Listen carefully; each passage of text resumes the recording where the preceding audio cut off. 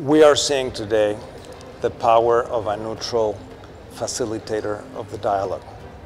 We have representatives from many different organizations, certainly the IEA and OPEC, but we also saw representatives from IRENA, the Nuclear Energy, uh, the Atomic Energy Agency, etc.